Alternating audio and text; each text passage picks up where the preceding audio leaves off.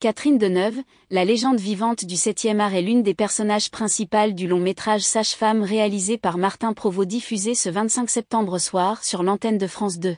La grande dame du monde artistique y incarne une certaine Béatrice Sobolewski, une joueuse de cartes invétérée et influente. Côté vie sentimentale, la flamboyante et sublime Catherine Deneuve qui soufflera ses 79 bougies le 22 octobre 2022 a en effet été la femme de plusieurs artistes. Parmi eux, le réalisateur Roger Vadim avec qui elle a eu un fils, Christian Vadim en 1963, le photographe londonien David Bellet, l'acteur italien Marcello Mastroianni avec qui elle a eu une fille, Chiara Mastroianni en 1972, l'homme d'affaires Bertrand de Labaye et le journaliste et ancien président du Festival de Cannes Pierre Lescure. Ce dernier est marié depuis 1996 à Frédéric Feilbernstein qui fut la dernière compagne de Coluche avant sa mort le 19 juin 1986.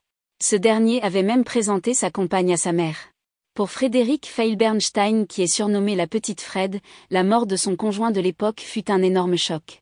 Heureusement, celle-ci a retrouvé l'amour aux côtés de Pierre Lescure avec qui elle a adopté une fille, Nina, au Vietnam en 1999. Invité de Jordan de Luxe en mai 2020, ce dernier avait évoqué l'adoption de sa fille. Je n'étais pas tout jeune et on avait envie d'avoir un enfant vite pour que j'en profite le plus longtemps possible avec elle.